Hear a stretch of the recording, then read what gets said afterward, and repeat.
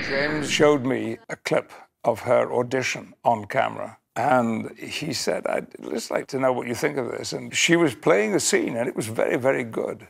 And then on the clip, she asked the director, could she improvise the scene? And she went into her own version of the scene in a mixture of Spanish and English. And it was one of the most extraordinary bits of audition tape I'd ever seen in my life. It's 2,000 fucking miles. You've been sitting in the back. You could have fucking talked to me this whole time. Si ni me miras, me intentas dejar tirada, me gritas, ni me hablas, me insultas. ¿Tú qué crees? ¿Que voy a hablar contigo? Shut the fuck up! Mason, Richter, Kidden, Bobby, and Charlotte. Who's that? Mason, Richter, Kidden, So Bobby. who and is Charlotte. that? Who is it? Montana. Montana. What? What about it? No. Yes. Your mom, she read a lot of stories. Your mom made this up. This is all bullshit.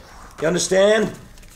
Yes, I know, I know. I read it. I've seen it. This is a comic book, okay? This is all just fantasies, all just pictures, made up pictures. Yes. Oh, okay, I understand. Yes. Okay, ah. fine. Yeah. This place here, okay? This does not exist. Listen to me. This does not no existo. Eden. No existo.